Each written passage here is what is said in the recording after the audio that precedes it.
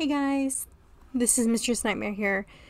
Before I let you guys continue reading Insanity Love Chapter 2, I'm just making this quick announcement. I'll be posting two new videos this week and it will follow the routine. These videos will be posted once a week and then I take a week off to see if I can find any new creepypasta fanfictions out for you guys so I could post on my channel since the creepypasta fanfiction community is going down since some of them are very old and the grammar is very outdated or not been corrected in several opinions from the authors. So I'll be taking the week to search for new stories to read to you guys.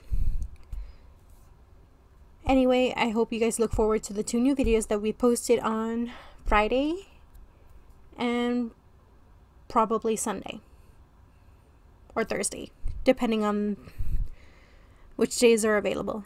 Until then, I'll let you guys on to the story until the end of the video. See you guys later.